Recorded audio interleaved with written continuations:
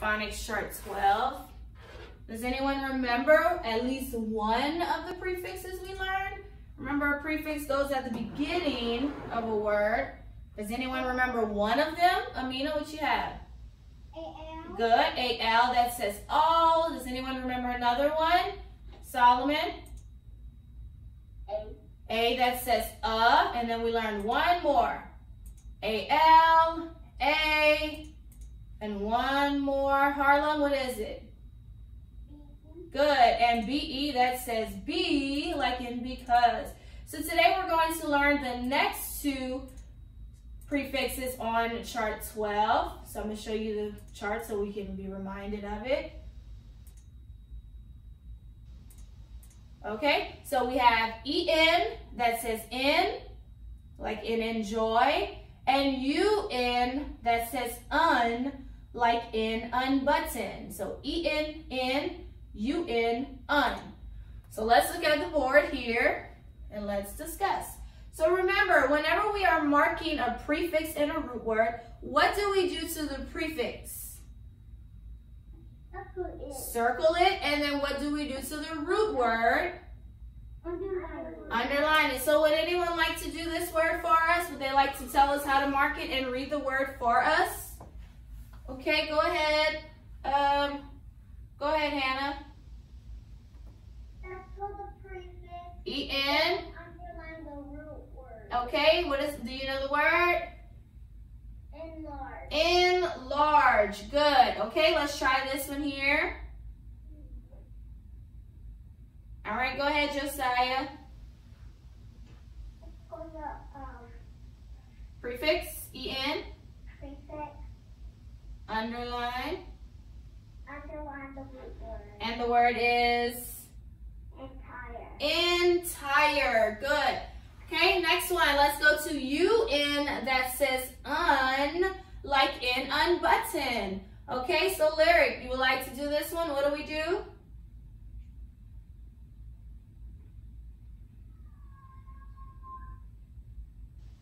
You'll have to, oh, let me ask you to unmute.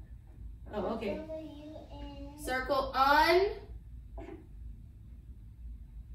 And underline the root word, hook. What's the word?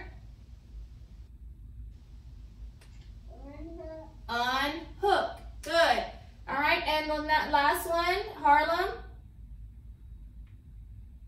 Circle the U-N. Un. Un. Un. What else? Underline the root word. What's the word? Untie. Untie. Good job. So we've learned A that says uh, A-L that says all, B-E that says B, and now we know E-N, N, and U-N, un. So those are the five prefixes. We won't learn any more prefixes. These are the only ones that we are going to learn. So a prefix goes at the beginning of a root word. So we circle the prefix, underline the root word. Good job, guys, with that. So does anyone remember when we learned ABC order? Is when we put things in order of the alphabet. Does anyone remember? We have a list of words. What should we look at to determine the order of the words? Does anyone know? Okay, Hannah, I seen you said, what is it? We oh, good job. We always look at the first letter in order to put something in ABC order. Okay? So let me give you an example of let's say two words. So we'll do two colors just so we can review it real quick before we move on to the next part. So I have yellow and blue. And I want to figure out which one would go first in ABC order.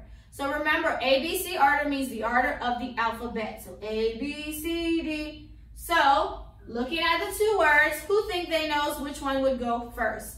We look at the first letter, we look at the Y and the B. Which one would come first when we say the alphabets? This should be super easy. Which one? Evan, which one would go first? B. B, so that means blue would be first and then yellow would be second. That is correct. So now we're gonna learn a different way to put words in ABC order. So look at my words here. I have bed, bat, and box. Now, if you look at all three of them, they all start with the same letter. So how could I put these in ABC order and they all start with the same letter? Remember, we had to look at the first letter in order to put it in ABC order, but it changes whenever they're all they all start with the same letter. So since they all start with the same letter, do I just write them however? Or do I still have to follow in a certain order? What do you think? Of course, I still have to do it in a certain order. So, whenever a word starts with the same letter, guess what you do? You go to the second letter, okay? So that's only when words start with the same letter. So they all start with B, so I will look at the second letter in order to put them in ABC order. So I'll look at the E, the A, and the O. Those three letters will help me to determine which word will go first, second, and third. Okay? Who, who understands? When they all start with the same letter, you go to the second letter because you can't determine it based on the first letter. So we have E, A, and O. So which one out of those three letters do you think would go first when we say the order of the alphabet? Which one would go first? Hannah. A. So the first word would be bat because of the A. So next we have E and O. So when you say the alphabet to yourself, which letter will come first? E or O? Okay. Um, Solomon, which one? E or O? E, good. So that means E would be second and then box would be last. So all of these started with the same letter, but we don't we don't pay attention to the first letter. We do we go to the second letter, and so we put it in order like that. So anytime they start with the same letter, go to the second letter. Let's look at some more words. We'll practice a few more words. So I have dish, dump, and dad. Okay, those are my three words. They all start with the same letter, which is the letter D. Okay, so I can look at the first letter, so I go to the second, not last, the second letter. So I'm going to cross out the first letter because I don't need this. I'll look at the I, the U, and the A. so looking at the I, the U, and the A, which one would go first? This one should be easy because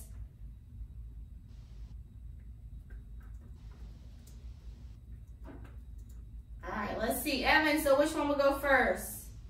The A. Good. So dad would be the first word. Yes. Okay, so then I have I and you. Which one will go next? Harlem? When you say the alphabet, which letter comes first? I or you?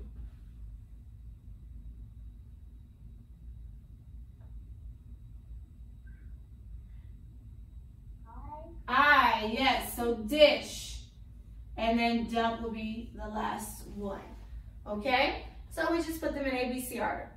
So anytime, again, your words start with the same first letter, go to the second letter to put them in ABC order. Okay? Who feels like they understand? I can tell that some do. I understand. Yes? Okay. All right. Good. I'm happy to hear that you, get it.